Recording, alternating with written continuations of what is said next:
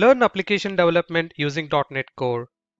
In this topic, I'm going to implement search functionality in ASP.NET MVC Core application. If you are following along the series, you can continue from the previous topic. Or if you are new to this, you can still watch it because the concept is same. Welcome to Clouds Training. This is Divakar. If you have already subscribed to my channel, thanks a lot. If you haven't subscribed, please request you to subscribe for more updates and training programs. I have opened the solution and run the application to quickly recap on what we have implemented so far. We have a page with complete CRUD operations and a sorting is introduced in our previous topic. In this topic, we're going to introduce search here. Open CSHTML file where you want to introduce the search functionality. This is the page which corresponds to index.cshtml. So I want to introduce search functionality in this page. For that, I'm going to add input box here, something like this, and a button. When you enter a search term and click on this button, it is going to filter the results in this box and another option to clear the search results. I'm going to add some HTML here. It is a form tag with action as index and method is get. Since it is the page from contents controller, it is going to trigger index action here and this is a get index action.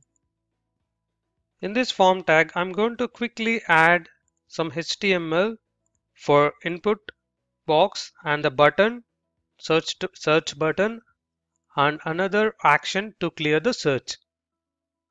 And this div and paragraph tag are for making the UI look much better. Here we can see that for the input box value is view data of search term. We're going to see how we're going to make use of this view data search term in our contents controller class in a moment. And the sec second input box is of type submit and the value is search.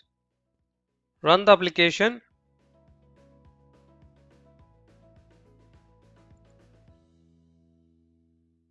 And click on contents. We can see the input box and the button. Introducing search functionality to this is fairly simple. We just need to add an extra variable here, search string, and remember we have created a view data of search term. So always we need to store that value in view data search term.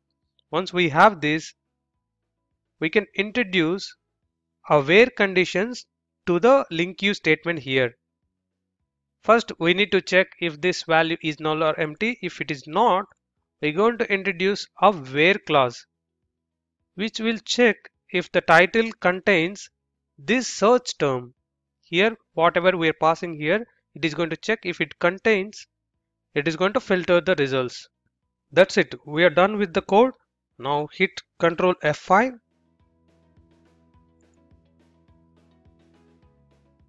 to run the application and then go to contents. Since our search is based on title, enter something from title, hit search, we can see that it is filtering the results. Click on clear search. It will display full list of results. The search functionality here is working fine. But however, it has introduced a new bug, which I will show you in a moment. When we search with the term SEO, there is only one record, so we could see only one record. But when we scroll down, here we can see implement paging, implement search and implement sorting. We have three rows with the term implement. So enter this term and search. So we have three results. When we click on title, notice it is actually clearing the search.